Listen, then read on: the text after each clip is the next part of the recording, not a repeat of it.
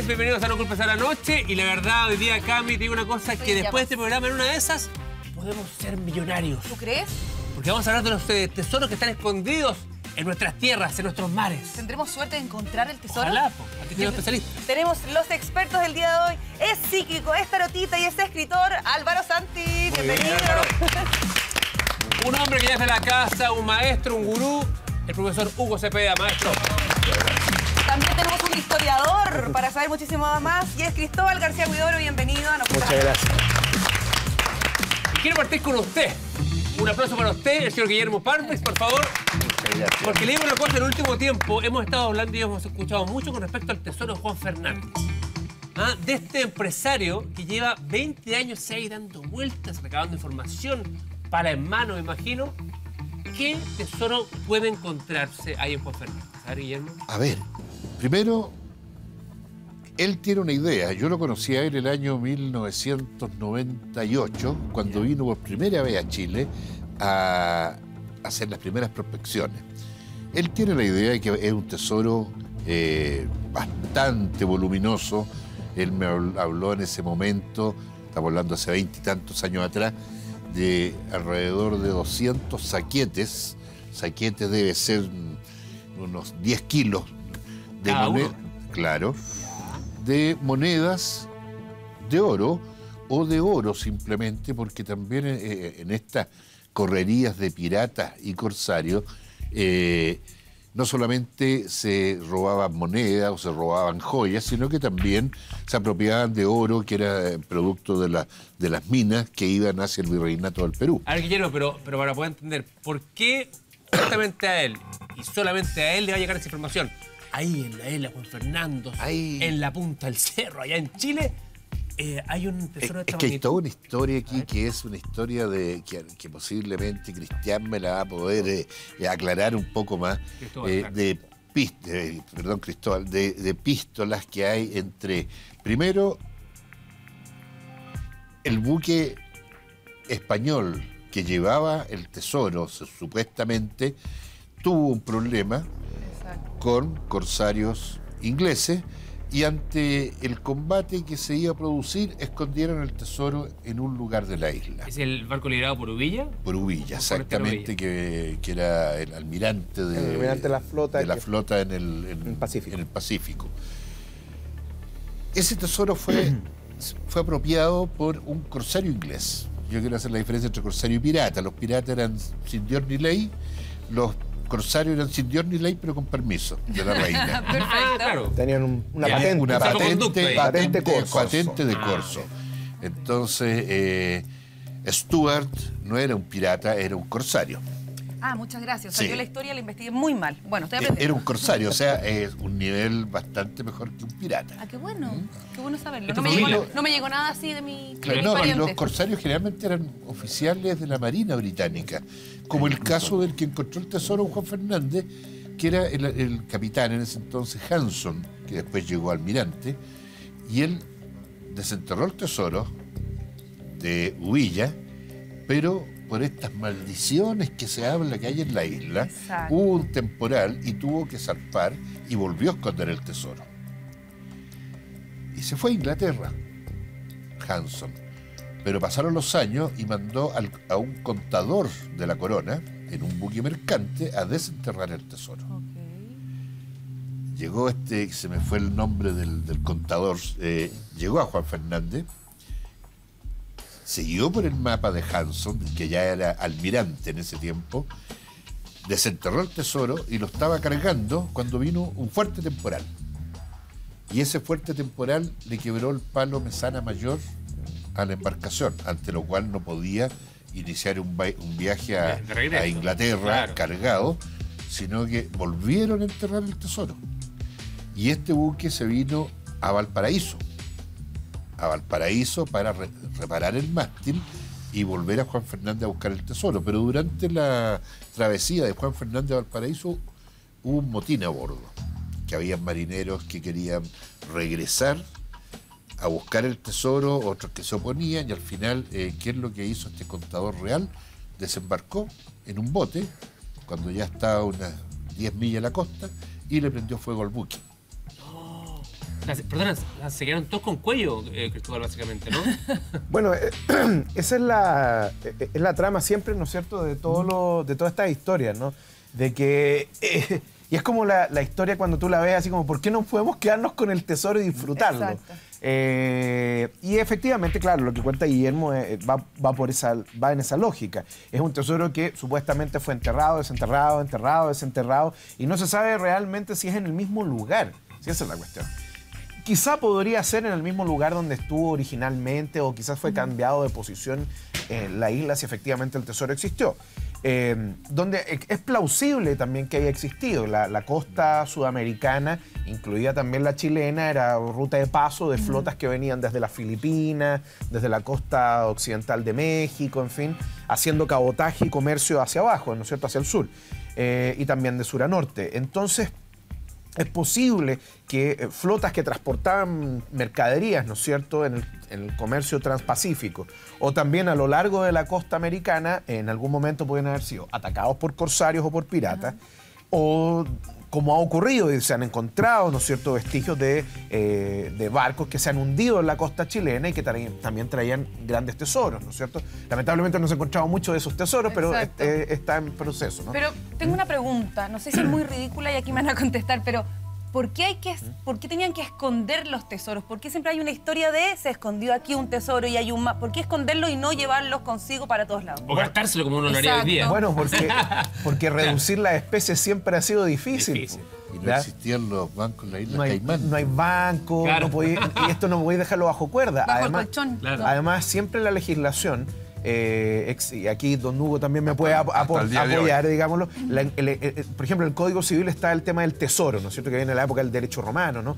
Y que efectivamente, si tú encuentras un tesoro, claro, tú te lo puedes quedar, Ajá. pero usualmente los gobiernos, ya sea el gobierno español en su momento o el gobierno chileno, cortan su tajada del pastel Y también. una tajada importante. Y la, y última ley al respecto Sí. corta una gran tajada del Estado de Chile. Es, es un eso- 75%, ¿no? Para, para el 75. Estado. Para el Estado. Claro. Por eso que en realidad muchas personas dicen que en caso de descubrir un tesoro no lo dirían Hay a nadie. Claro. O lo saca de por y quedarse cito.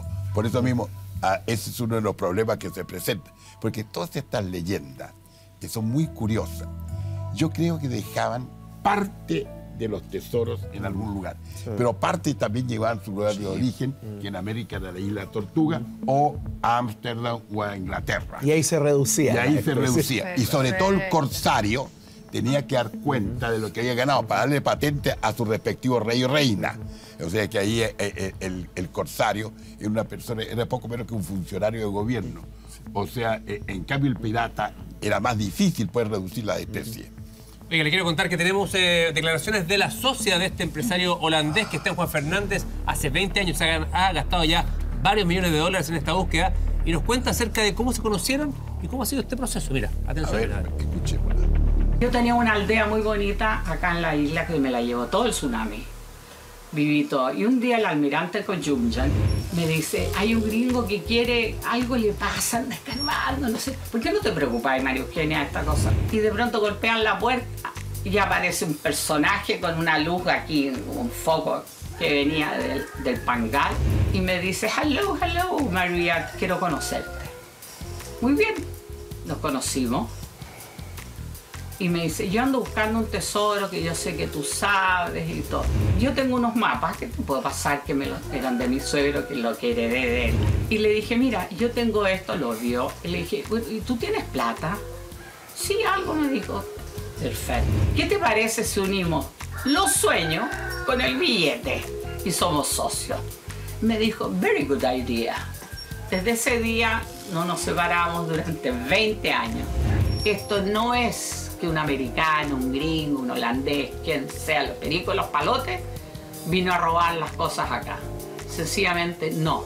Esto empezó con un chileno, Luis Cousiño, y más chilenos como todos somos, e isleños también que le creyeron y bajaron a las profundidades de esta tierra isleña a buscar pies de Yellowstone, piedras y cosas maravillosas. Se unió el hambre con las ganas de comer, básicamente. ¿Ah? Hubo ahí como un Hay un match. Perfecto. Es verdad. Pero en todo caso, es, uno se pregunta si, si ya han pasado 20 años y no se ha encontrado nada, Es porque no hay nada. Yo me imagino, pues, profesor. Sobre Perdone que ese- sea tan, eh, tan práctico. No, tiene ¿no? toda la razón, porque se ha hecho muchas excavaciones y todo. Y le advierto una cosa, esto está bastante discutido, estos pactos y arreglos que han llegado para hacer cierto respaldo legal a esto. Porque prácticamente eh, van a empezar a- por destruir la isla. Y esto es peligroso. Claro, lo que pasa es que una faena, a ver, uno podría utilizar tecnologías no invasivas, ¿no es cierto? Pero son extremadamente caras, ¿no es cierto? Resonancia, eh, imágenes satelitales, en fin. Y, bueno, el tema es que aquí se está haciendo una excavación que es más clásica, ¿no? O sea, como tú vas generando las, las- las cuadrículas, ¿no es cierto? Eh, con unos- estos, ¿cómo se llama? Arneros. Los arneros, tú empiezas a tratar de, de- de- de- de, ¿cómo se llama?, discernir la tierra, en fin. Y a la larga tratar de llegar y encontrar Algo. que la X marque, el ma- marque el- Claro. donde está el tesoro, ¿no? Pero eh, citando a- al papá de Indiana Jones, no necesariamente la X marca donde está el tesoro. Eh, el, el tema es que eh, efectivamente puede ser que esté, puede que no. Pero lo que pasa es que la isla es muy grande. Sí. Uno piensa que es pequeña, en fin, uno la ve, uno tiene una vista de pájaro de la isla y es chica. Exacto. Pero son centenares de miles de toneladas de, de- de- de detrito que uno tiene que, movi- que mover. Quizá dónde está, más encima es una zona protegida, ¿no es cierto? Protegida, Parque Nacional. Claro, la parte, la parte que no le da el viento a la isla es ese vergel fantástico que todo el mundo quiere visitar, donde Sí. se señores, está el Pangal, ¿no es cierto? La parte donde le, da el viento es el desierto de la isla, digamos, y no crece nada, que es donde está la pista de aterrizaje, en fin. Entonces, claro, en ese sentido uno puede echar volar, a volar la imaginación, pero si ya llevamos 20 años buscando y no hay nada, quizá más que... Aquí yo voy a hacer, me voy a poner la antípoda de Don Hugo. No voy a decir que no está el tesoro, pero sí quizá habría que eh, utilizar otro enfoque para buscarlo porque los métodos tradicionales no han funcionado. Quizá habría que utilizar otro tipo de tecnología, pero eso es costoso. Pero ¿y si vino alguien más vio que el, que el holandés. Más que, Vivaldi. Ah, Además, que llegó y se lo, se lo llevó. se lo pueden haber llevado, callar, bueno, puede es lo que contaba Guillermo. Bueno, puede, haber, ser, ¿no? puede haber ocurrido eso, sí. A ver, aquí no podemos cerrarnos a nada. Eh, yo creo que tenemos que manejarlo en todos los escenarios. Que está escondido un fabuloso tesoro, que no hay un fabuloso tesoro, sino que hay una serie de pequeños tesoros que también es una posibilidad muy cierta, porque Juan Fernández fue un lugar de paso y descanso de todo tipo de navegantes. Muy importante, ¿no? Porque no Claro. había nada más alrededor. O sea, Claro, y, y eso pe- permitía navegar, digamos, por mar abierta y no por la- siguiendo la ruta costera, que la ruta costera era peligrosa y demoraba más los viajes. Entonces, eh, deben haber tesoros, pero posiblemente no de la magnitud de lo que se habla. ¿Les parece? Porque conseguí, me conseguí el mapa, el ¿En supuesto mapa donde dicen que está el tesoro de Juan Fernández para que lo revisemos. No, pero guardémoslo. Sí, no lo compartimos vamos. entonces. Revisemos entonces eh, el mapa donde Ahí dicen. está. El mundo. que debería estar. Google Maps. Es un mapa muy moderno, por supuesto. Ahí está la. Pero dicen que en ese punto estaría el tesoro de Juan Fernández. Ya, sí. Puerto Inglés. Ya, pues, ¿qué estamos haciendo acá? Vámonos. Vamos, Vamos al tiro. ¿eh? Yo, tengo- yo tengo una pregunta para, para Álvaro, porque siempre eh, cuando hablamos de tesoros, siempre están envueltos como en cierta, ¿cómo decirlo? Al- como- es, es como misterio, eh, le trae alguna maldición. Cada vez que alguien quiere buscar un tesoro, o desaparece, o muere. ¿El tesoro Juan Fernández está envuelto también en este misterio? Claro, bueno, mira, hay, un, hay, hay varios problemas para los buscadores de tesoro, pero se suma un problema que tiene que ver con esto de, de que básicamente un tesoro es, eh, enterrar un tesoro es una forma de protegerlo. Y las personas que tienen inclinaciones más supersticiosas pueden recurrir a algo más mágico, un amarre, qué sé yo, alguna manera de protegerlo más aún. Ocurre eso, también ocurre que eh, muchas veces una persona que entierra un tesoro muere después y de, y de alguna manera la energía de esa persona regresa porque se identifica con, o, o ya sea con ese lugar o con el tesoro que está guardado ahí. Yo tengo una, una experiencia con, el, con la búsqueda de tesoro. Oh, a mí ¿ah, me sí? sorprendió esto, yo imagino que ustedes también se van a sorprender porque cuando uno ofrece servicios de psíquico, a uno le piden una cantidad de cosas extrañas y una de las primeras cosas que a mí me pidieron después de aparecer por primera vez en televisión, qué sé yo, fue eh, buscar tesoros de familia. Familias, hay familias que han enterrado, qué sé yo, una cantidad de dinero o joyas y pasa el tiempo y queda por ahí un registro, una carta, algo y alguien la lee, la descubre y entonces eh, comienza la Ahora me explico por qué usted está rico ahora. Bueno, en esa bien. eh, oportunidad eh, yo accedí a esto. ¿eh? Yo no lo hago, yo no hago ninguna clase de, de búsqueda ahora, ni de personas, ni de mascotas, que es también lo que me piden. Y, pero en esa oportunidad accedí y dije, a ver, qué interesante esto, ¿qué será? Nunca lo había hecho. Y tuve un contacto intuitivo, psíquico, ¿cierto?, con, eh, con, con- con- con este tesoro. Eh, y me di cuenta que había efectivamente una energía muy, muy tóxica, muy oscura, que estaba como, era casi un campo de fuerza que no permitía ir más allá. Pero era una cosa bastante oscura. ¿Eso era en la casa de la familia? Eso era en un terreno, en un sector rural, Ya. qué sé yo, un terreno que era familiar y, y ahí lo estaban O sea, buscando. aquí ¿no? había un amarre para Había- no poder encontrar Exacto, claro. los tesoros Y de a la familia le hizo mucho sentido eso porque sabían quién era la persona que había enterrado esto y que tenía estas inclinaciones eh, de temas mágicos y todo esto. Entonces yo dije, yo no entro en esto. A mí me dio... Aquí me voy. Sí, sentí que era una cosa muy, muy poderosa la que había ahí.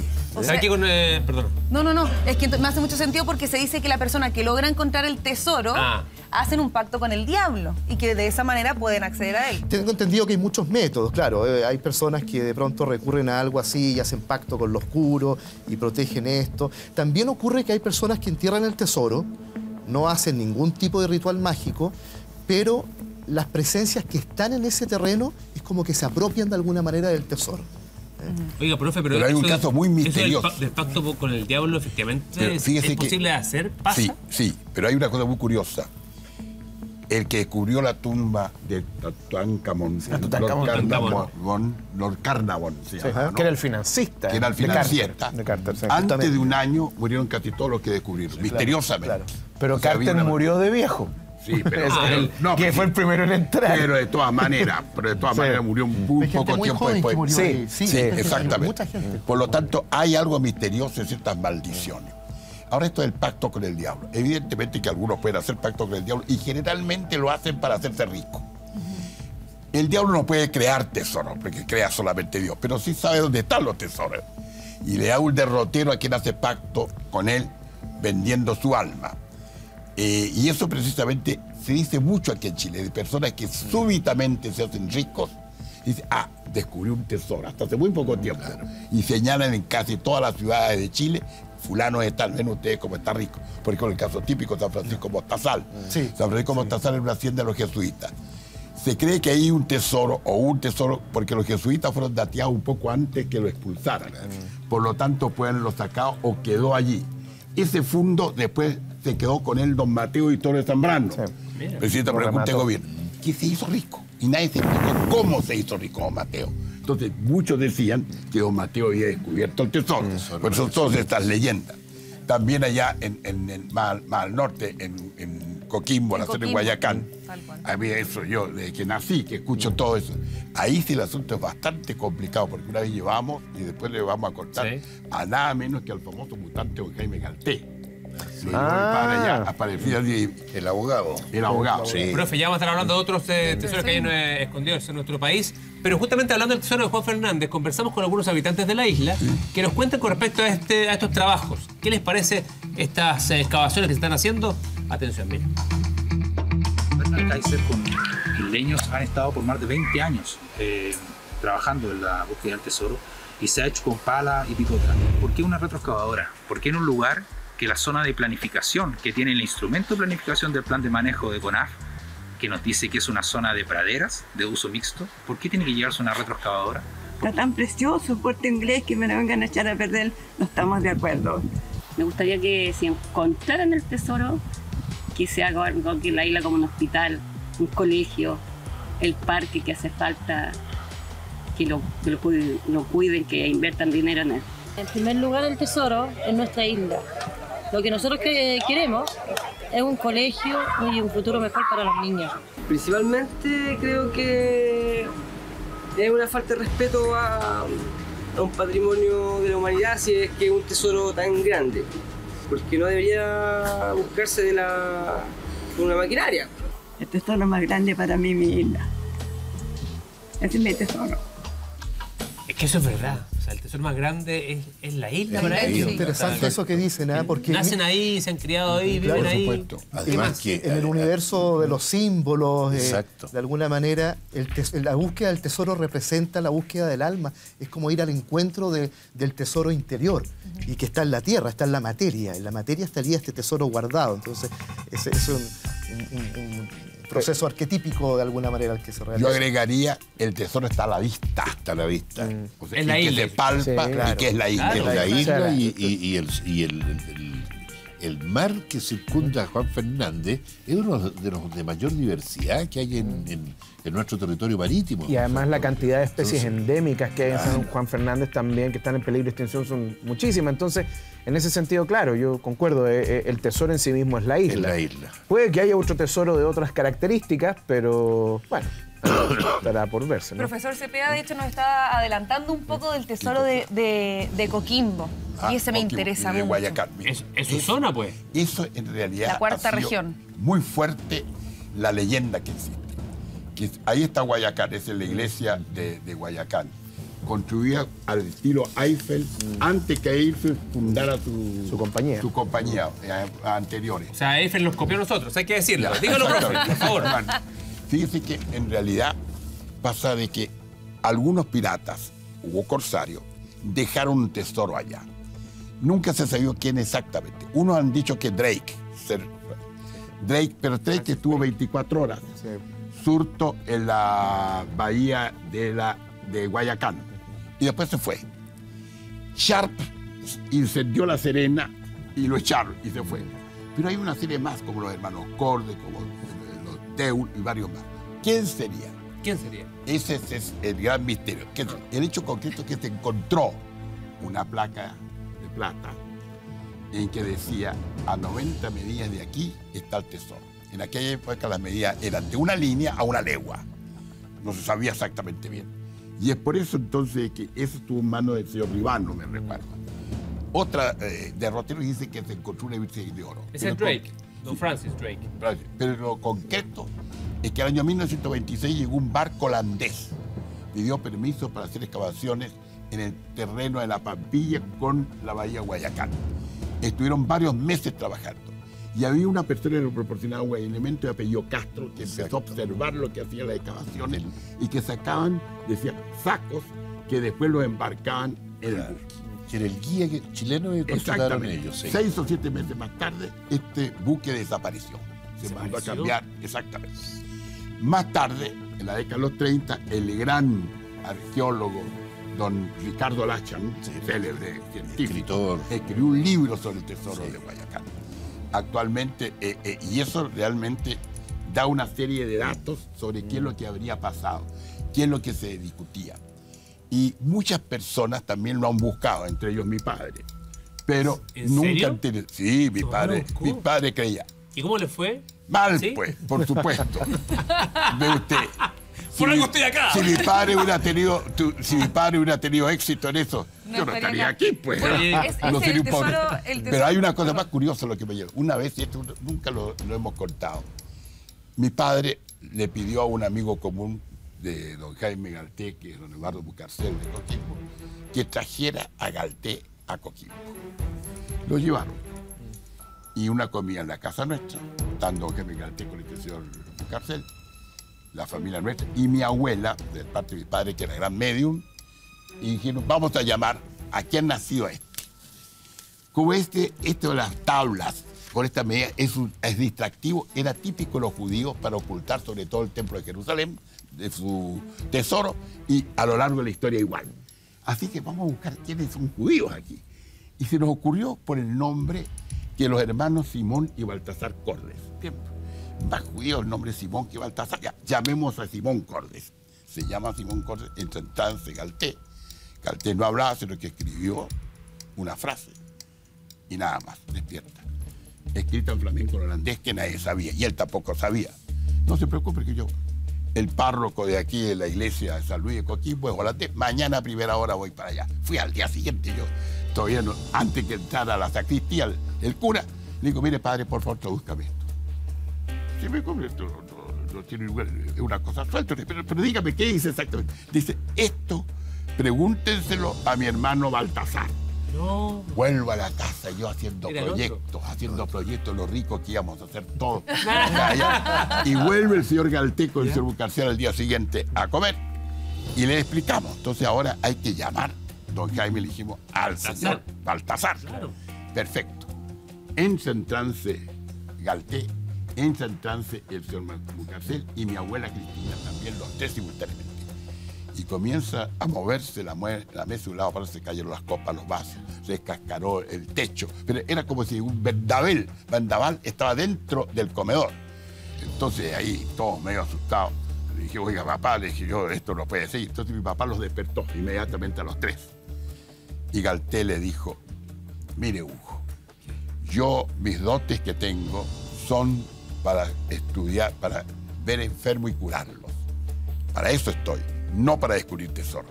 Y nos quedamos sin el tesoro. Y se quedaron así. Pero después yo convencí, me di cuenta que había una equivocación nuestra, que el que era hebreo era Deul, que parece que dejó la placa. Y ahí entonces ahora el problema está, se ha buscado esto siempre y no se ha encontrado nada. ¿Y se, Pero ¿y se hay sabe otro- que habría en ese tesoro? pero hay, es que hay un ser misterioso. Mi madre hacía cinco o seis meses que me esperaba a mí, tesoro, usted. un tesoro- su tesoro tesoro. privado, Ahí está el tesoro. con mi padre y con el cura párroco de Coquimbo, que era un me, parece. Fueron a la papilla a buscar el tesoro porque se perdió, y se perdió un perro. Y sale de un lugar de una cueva un perro. Entran y se encuentran con una caverna de más o menos unos 25, 30 metros había que en- entrarse inclinado. Mi madre, por lo tanto, pudo entrarse, pero el, el cura Sastre y mi padre fueron. Dicen que encontraron algunas calaveras ahí nada más y volvieron. Y dejaron unas piedras ahí de señuelo para volver al día siguiente. Nunca más pudieron dar con eso. Porque fíjense que ustedes que esa parte de la Pampilla es como terreno lunar. Es muy misteriosa. Hasta el día de hoy es decir, como recoveco, muy, uno se pierde siempre. cráteres y cosas raras. Exactamente. Y además, otra persona me ratificó eso. Una señora Olivares Arnao de Coquimbo, una viejita, un día converso con ella, ah, me dijo, el año 1908, me era una niñita chica de unos 11 años y nos pasó lo mismo. O sea, hay dos versiones de eso. Y después otro más que dicen que existe este famoso, este famoso túnel, que se logra ver al fondo el mar, pero nada más. Y se, y se cree que habría podido estar. Ahora, los problemas al respecto. Si yo fuese pirata, nunca habría puesto un tesoro a 13 kilómetros de La Serena. Era, era absurdo. Sino que lo habría hecho viendo 1500 kilómetros hacia el norte, en cualquier parte lo habría De la costa, se De puede la decir costa. Pero también viene otro asunto de que es la bahía, la bahía de Herradura, o sea, Guayacán es una bahía especialísima, muy buena. que Está ahora en situación, desgraciadamente, de, de crisis, de, de sacrificio. Va a empezar ahí en esa, ahí en esa bahía también, desgraciadamente. Y ahí entonces el lugar justo para que se pueda establecer un barco pequeño y poder instalarse. Porque a todo esto la Serena queda a 14 o 15 kilómetros, pero lo- el fuerte español estaba en Peñuela. Porque ahí el estero de Peñuela tenía agua dulce, por lo tanto ahí tenían que ir los piratas a buscar agua dulce y ahí entonces se daban cuenta y avisaban a la Serena. Yo me, me lo imagino a usted después de haber descubierto el, el tesoro, Sí, me lo imagino así como Hugh Hefner, con una bata así, ah, espectacular, echado para atrás, un puro whisky. Además, sería yo dueño de este canal. Pero por supuesto, profe, aquí estamos. Ah, porque no te, porque te pega. Yo tengo una pregunta muy importante para el capítulo de hoy. A ver. Cristóbal. Ya. Epa. ¿Hay alguien en este país que haya encontrado un tesoro? Eh, sí, pero no completo. ¿Cómo así? Porque han encontrado parte del tesoro, pero no todo el tesoro. Eh, por ejemplo, hace unos años atrás, en la costa del Maule, se encontró el naufragio un barco que se llama el Oriflama. ¿ya? El Oriflama, bueno, hay distintas versiones de cuánto oro, plata y cosas valiosas traía el barco, pero eh, estaría, eh, a ver, lo que pasó fue que se habría embancado en la playa y con el pasar del tiempo la erosión lo fue hundiendo, hundiendo, hundiendo y estaría bajo la arena de la playa, justo en la zona donde el mar encuentra la tierra, ¿no es cierto? Entonces, eh, después de harto tiempo de excavación, etcétera, se encontraron algunas monedas y alguna- algunos restos de vidrio, en fin, y de cosas que efectivamente habrían pertenecido a este barco. Eh, no sé en qué haya quedado el resto de la excavación, porque esto fue el 2011, puede haber sido. El 2011. eh, 2011, la sí. excavación no continuó porque la paralizó la Corte Suprema, Ah, la Corte cierto. de Apelación. A ver, ¿cómo fue, Sí. Guillermo? Es que había todo. ¿Y por qué lo hicieron? O sea, perdona, estábamos a puertas de al fin encontrar un tesoro en Es nuestro que, país. es que el buque, por su antigüedad, ¿Ya? ya tenía la calidad de patrimonio histórico. Histórico, sí. Ya no era un lugar cualquiera donde tú puedas ir a excavar por si encuentras un tesoro donde se aplica la ley esta de, del 75% para el Para el Estado, y el Estado, sí, 25% Para el descubridor. para el descubridor. En este caso era un patrimonio histórico. Por lo tanto, eh, hubo gente del- de, de Curepto que apeló ante la, ante la Fiscalía local. Eh, el juzgado de garantía ordenó paralizar las obras. Eh, hubo una apelación de parte de, de la, de la empresa que se había formado para buscar el Loriflama. Se volvió a autorizar la excavación donde ahí sacaron algo y luego la Corte Suprema paró definitivamente las excavaciones, las prohibió. Y ahí está el tesoro. O sea, 200 mil millones de pesos decían que era el. Claro. No sé si es Ahora, una valorización real. es un tesoro, debe ser muy grande. Así estamos con Cristian. Claro, porque este es un buque que venía de España a Perú. Venía de España a Perú. Eh, en, la- en esa época se hundían 80 buques al mes. En ese caso debería ser al revés para llevar el tesoro. Pero es que se traía Del Perú monedas, a España. traía no, pero monedas traía, acuñadas. claro, traía monedas acuñadas Ah, de la Casa real Real de Madrid. situado, ya, Sí. ya. Claro, era situado para, no solamente para el Virreinato de Perú, sino que para la Capitanía General de Ah, Chile, de Chile también. también. Y tiene que haber sido muy valioso porque dos meses después del naufragio, el virrey del Perú mandó una comisión que estuvo excavando y sumergiéndose con los medios precarios del, del- del siglo XVI, buscando eh, el tesoro del Oriflama. O sea, en la corona española y el virreinato sabían que ahí había algo de muy altísimo valor y que todavía sigue ahí. Ahí tenemos un caso claro de, como decía eh, Cristóbal, de que se encontró algo y queda mucho. Y queda mucho, claro. Y tenemos otro, hay otro caso. chicos también. Yo Sí, conozco a algunas personas, no puedo citar los nombres, que se han hecho ricos de un momento a otro. Sí. Personas son honradas, no, no Ah. han hecho ningún tipo de delito. Y sin embargo han pasado este tiempo. Porque han descubierto seguramente ciertos tipos de tesoros pequeños, pequeñas monedas que se entierran por persona, y con eso después viven. Pero hay tesoros, los tesoros más importantes son misteriosos, por ejemplo el de los jesuitas. Claro. Se comete el error de creer que era de Santiago. No. El convento de los jesuitas queda en el ex Congreso Nacional y no tiene nada que ver. En el fondo es el de San Francisco Montazán, que era hacienda de los jesuitas. Los jesuitas fueron dateados y sabían poco antes que iban a ser expulsados. Y parece que pescaron ese tesoro y se lo llevaron. O algo quedó, como dicen ustedes, porque el fondo ese se quedó con él Don Mateo y Torres Zambrano. Y Don Mateo Torres Zambrano, presidente de la Junta de Gobierno, se hizo rico. Y evidentemente que eh, hay ahí un asunto misterioso. Y el otro, por lo tanto, que dicen que era en calera de tango. Pero yo en que- Ocoa también decían que, había otros. Bueno, siempre los jesuitas se hablan cosas misteriosas ahí, que de- pero el, el hecho concreto es que los, eh, los tesoros, además, como dicen, creo que Álvaro lo dijo, y usted también, señorita Camila, lo dijo, que eh, ciertas maldiciones. ¿Eso es real? Sí, real. Con respecto a las personas que Que trabajan e claro, intentan porque, tesoro. claro, porque generalmente se guían por medio de personas que hacen cierto, entre comillas, trabajo, que hacen ciertos ritos eh, de tipo maligno, y así entonces eh, para encontrar un tesoro y enriquecerse. Porque las conductas de estas personas posteriormente cambian, pero cambian para mal. Para mal. Y yo conozco dos casos, los concitables de personas que eran buenas personas y de repente se hicieron ricos, pero cambiaron totalmente. De apellido Garay Totalmente. y otro de apellido Chang. Hay gente que podría no creer en las maldiciones, pero, pero nadie puede decir que no se hacen. O sea, Siempre los tesoros están acompañados de esta Claro, maldición. aparte, o sea, una cosa es el efecto de la maldición, hay gente que podría creer que no, no, no, no existe ese efecto, pero sí hay gente que, que, que los amarra ¿no? y, que, y que lo deja una maldición para quien se acerque a Por desenterrarlo. ejemplo, el, por ejemplo, el de Juan Fernández lo que se dice es que persona que lo quiere buscar el clima cambia radicalmente, Bueno, ¿no? por ejemplo, y, evita, claro. y que el- evita el- poder encontrar el lugar específico. Yo anoche estuve, para esta misión, estuve revisando algunos de los, de los sitios que estábamos viendo acá. Y, por ejemplo, me pasa con el de Juan Fernández, que yo siento que sí hay algo y que está protegido. Me, me ocurre algo muy parecido a lo que me pasó con esta experiencia que les contaba yo.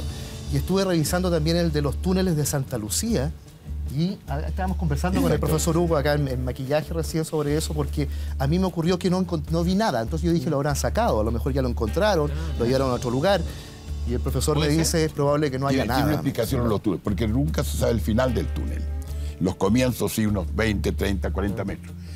Eh, eh, sobre todo donde está el monasterio de las Clarisas, ahí en el Está al lado, donde está la Biblioteca está la Nacional. Biblioteca Nacional, Nacional y la. Plaza Vicuña Mackenna. Claro. Y efectivamente parece que eran lugares de entierro o eran problemas o de abastecimiento. O sea, tenían una finalidad.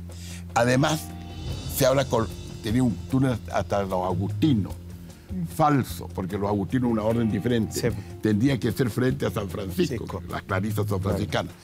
Y los jesuitas están muy lejos donde está el Congreso Nacional, por lo tanto, yo creo más en, lo de Calera de Tango y sobre todo en San Francisco. Lo, lo que pasa es que también, eh, a ver, claro, lo que cuenta Don Hugo es cierto. Mateo Toro Zambrano era el presidente de una cuestión que se llama la Junta de Temporalidades, que era una institución encargada de rematar las propiedades de los jesuitas a nombre de la corona. Pero también este era un nido de corrupción. Se porque, mucho. porque los miembros de la Junta de Temporalidades terminaban rematando las propiedades para sí mismos, sí que es el caso de Mateo Toro Dice que Zambrano. Don Mateo pagó mucho. Entonces me extraña de dónde. Es, es pro- es probable. Eso es lo que yo no entiendo. Lo que pasa es que yo- él, él- a ver, él ya era rico de antes, ah, tenía Era un cosas de eh, fortuna, fortuna en la minería, ya se había comprado su título de nobleza y todo lo demás. Con de la conquista. Con de la conquista. Y ocurre que, y esto es un, a ver, aquí voy a, voy a entrar en, el ámbito más práctico. Cuando se expulsan los jesuitas, uno de los motivos por los que se expulsan es porque se suponía que eran extremadamente ricos, la corona necesitaba hacer caja, por otro lado. Siempre la corona española andaba buscando dónde sacar ahí como plata, pero al mismo tiempo también existía toda una fantasía de que los jesuitas querían matar al rey, de que querían quedarse con América, es lo que llevó en definitiva a la supresión de las misiones jesuitas en el Paraguay. Hay una cosa mucho más grave, mucho más grave, porque el rey dice al final, y por otras razones que conservo mi real talante, sí. los expulso. ¿Y sabes cuál es la razón? Una. Era un señor de apellido Larraín de la Cerda, chileno, provincial de los jesuitas en Ecuador, y fue a Roma. Y llegando a Barcelona para embarcarse, llega le entrega una carta que le manda el nuncio que se la entreguen al Papa.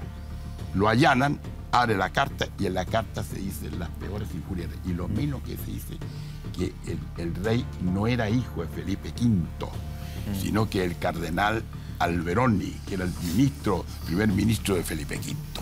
Y esto no lo pudo soportar, precisamente Carlos III dice que esa fue esa calumnia que hacía y, y se la atribuyó a toda la compañía de Jesús, que es lo mucho más grave. Ahora, el tema es que los jesuitas, es verdad, eran extremadamente ricos, pero cuando uno estudia más o menos como cuál es la riqueza de los jesuitas, en realidad era el peor tipo de riqueza, qué? la riqueza mobiliaria.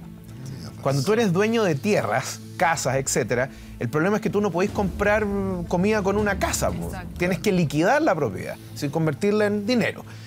la mayor parte de las tierras que tenían los jesuitas las utilizaban para cultivarlas, eh, para establecer algunos talleres y pequeñas industrias, y con el producto de eso alimentaban a los niños que iban a los colegios de los jesuitas. Y lo que sobraba era una cuestión que se utilizaba fundamentalmente para venderla, financiarla a la orden, etc. Entonces se inventó toda esta idea de que los jesuitas eran extremadamente ricos.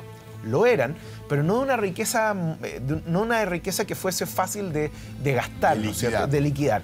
Y por lo tanto, claro, también la, la corona española se encuentra con, empiezan a buscar dónde están los tesoros, los cofres, etc. Por eso una de las órdenes, cuando expulsan a los jesuitas, que fue muy notable, porque yo, yo no me canso de decir, se pareció mucho a cómo se purgaron a los templarios. Estamos, perdón, hablando en qué año. En 1767, el Ya. 2 de abril, para ser preciso. Ah, wow. Lo que pasa es que fue un día A las específico. 3 de la mañana. A las 3 de la Ah, mañana. claro, claro. Eh, se tenía que abrir un pliego. Eh, Dos años antes se había mandado un pliego a los distintos gobernadores, virreyes, todas las autoridades. A los corregidores. A los corregidores, etc. Y decía, no abrir hasta el 2 de abril de 1767. Aquí había gente que no era muy intrusa y simplemente dejó los, los pliegos cerrados.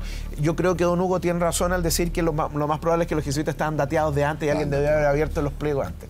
La cuestión era que en todas partes de América, en toda España y en todas las Filipinas, que era la otra gran colonia que tenían los, los españoles, se expulsaron los jesuitas inmediatamente en un solo día. En un solo día. Y a de la ahí- misma hora. y a la misma todo- hora en Por eso todos aquí tocó a lados. las 3 de la mañana, en claro, Chile. Y por se los lo- usos horarios. Y aquí se lo llevaron al paraíso. Se los llevaron a Valparaíso, que eso tomó dos, tres días más, y de ahí fuera. Fueron varios buques y dos buques se hundieron en el estrecho de Magallanes. Ahora, el tema es que eh, la precisión cronométrica de esta cuestión es, fascinante, pero también fue hecha ex profeso para que los jesuitas no se llevaran absolutamente nada, es decir, no tuvieran la oportunidad de llevarse sus supuestos tesoros.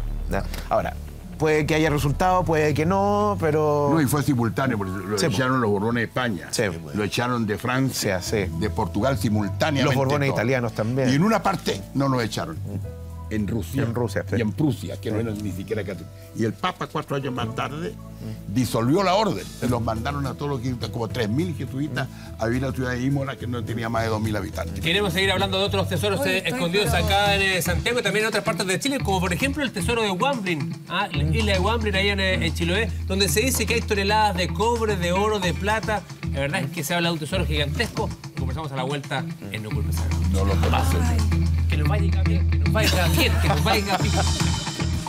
Muy bien, estamos hablando de eh, diferentes tesoros, historias de tesoros escondidos en nuestro país. Sí. También se habla de eh, los túneles del, del Santa Lucía. ¿Es así, Cristóbal?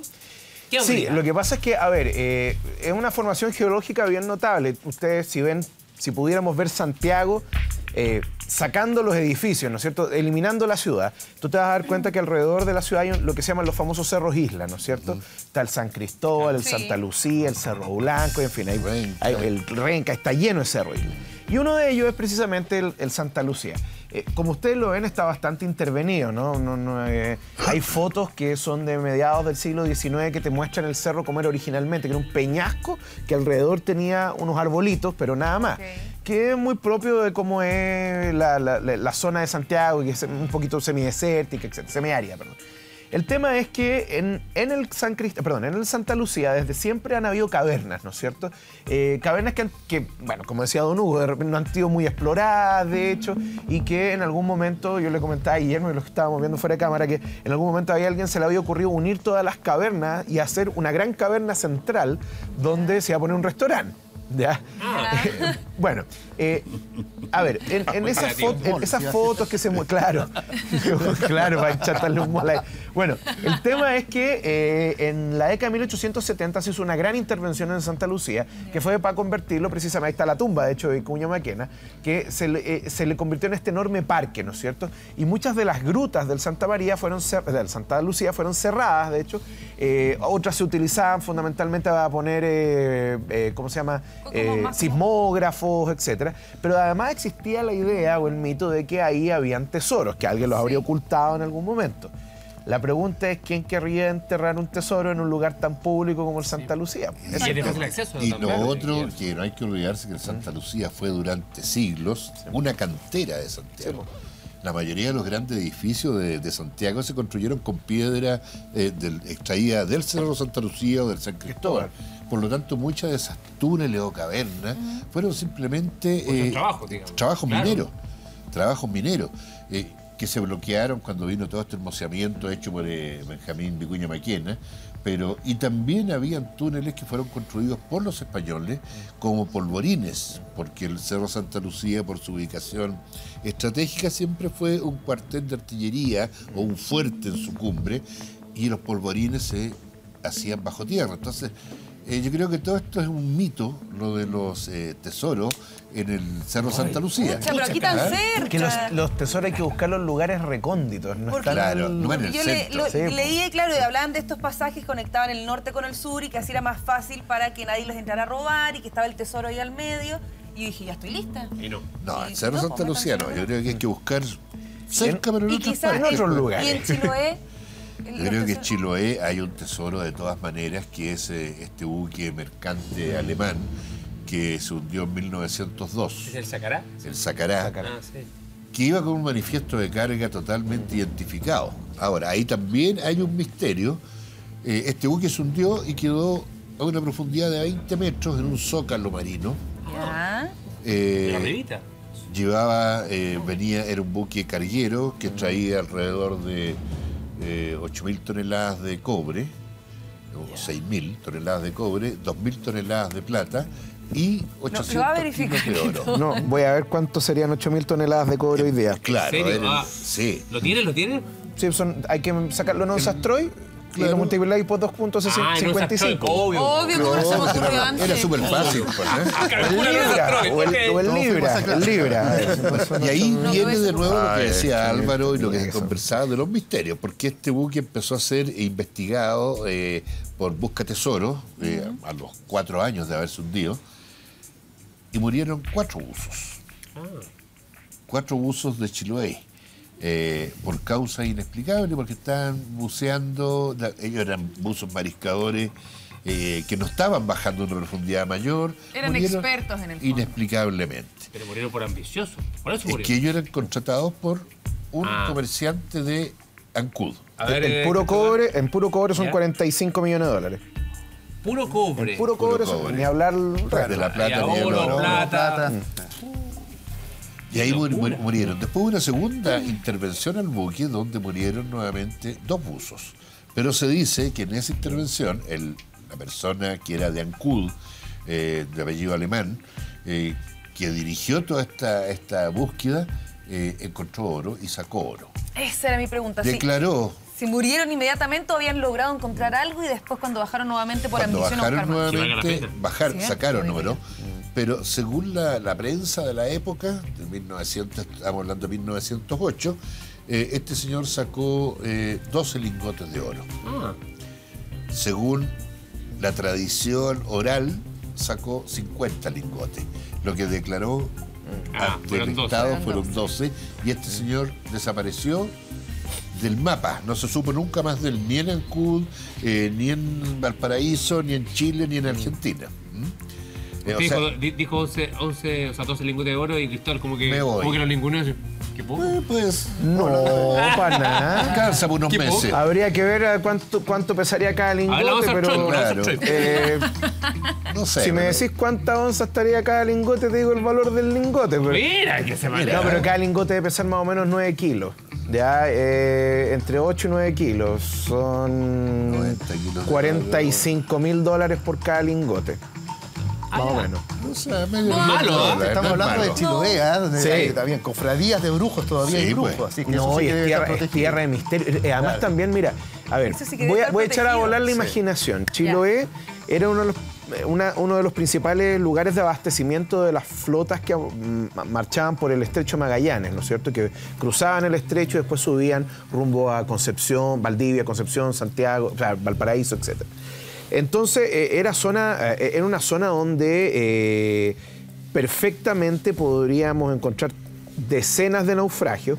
Hay, un- hay unos libros que escribió Carlos Bascuñán, me acuerdo, de naufragios en el sur de Chile, una cosa, los mares del sur de Chile, algo así, y en dos tomos, que ahí va viendo todos los naufragios, etcétera, y uno puede ir viendo, no el manifiesto de cada barco, pero uno puede tener una idea más o menos de, qué, de cuánto tonelaje se perdió, etcétera. Y además también eh, es, una zona donde, eh, que, que además estuvo en manos de, la corona española hasta 1826. Entonces, eh, mucho de lo que se generaba en Chiloé podía haber estado, ¿no es cierto? Eh, Podría haberse ocultado, o incluso en esas mismas, en esos archipiélagos que hay en el sur de Chile, también podría haber algo, digamos. ¿Por qué? Porque es- cumple con las características de ser un Claro. lugar remoto. eh, De una geografía muy, muy Sí, particular. muy Y no, espectacular. olviden, y no Profesora. olviden tampoco la visita de holandeses. claro, holandeses, Profesor, franceses. justamente, a la vuelta de la pausa quiero que hagamos un servicio de utilidad pública con nuestros televidentes y les contemos en qué otras partes de Chile podría haber algún tesoro escondido. ¿Les parece? ¡Están protegidos! Pausa y estamos con más. Cuidado, No ¿eh? cuidado.